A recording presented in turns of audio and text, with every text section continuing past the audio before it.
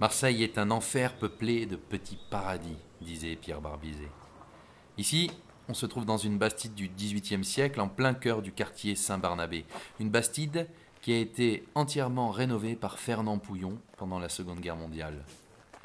Et on a choisi de vous interpréter ici une improvisation de Jeanne de Benedetti, femme compositrice marseillaise, violoniste à l'opéra et élève à la mandoline du grand Raphaël Lecalach.